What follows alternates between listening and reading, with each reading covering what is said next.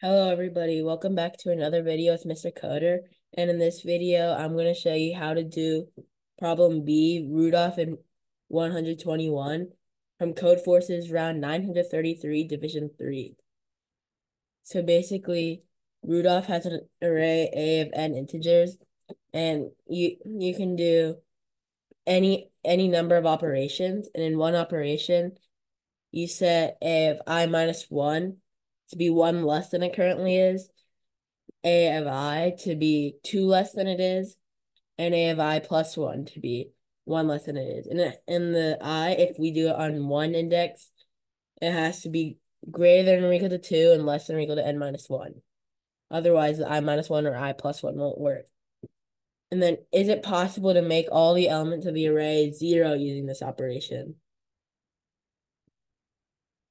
So basically for the first example, one, three, five, five, two, you would be able to, you'd be able to do it, you'd be able to solve it because, so first you just try, you just try, so first get rid of this one. So this would be zero, and then it would be one, and then you can make this four using one operation. And then you can use another operation. You can make this zero. You can make this two, and you can make this four. And then you can do this operation twice.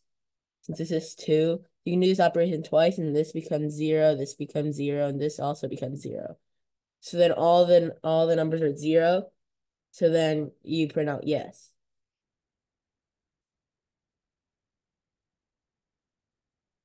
So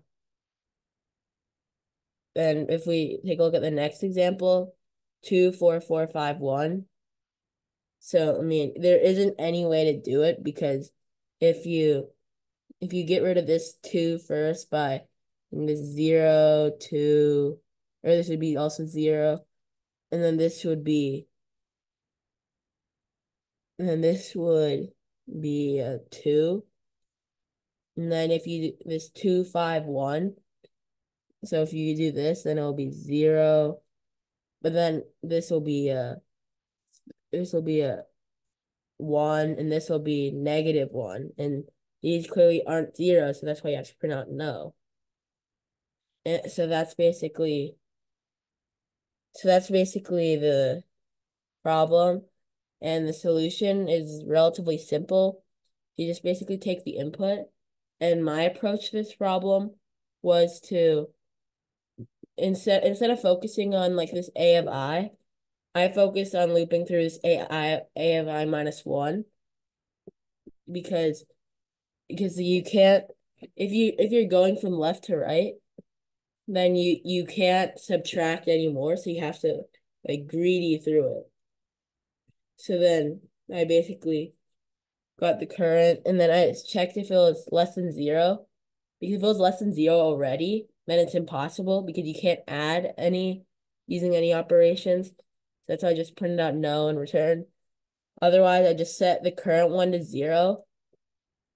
And then the next one, uh, I set to 2 times x. I subtracted 2 times x, which is x with the original vector i. Then i plus 2, I just subtracted x because you basically can use an unlimited number of operations and you don't need to count them. So that's basically what I did. And then I looped through the array again. And then if if there are any uh, any elements that weren't zero, then it clearly didn't work. So then it would just be no. And otherwise it would just be yes. So that's basically how it works. And then if I try pasting this in,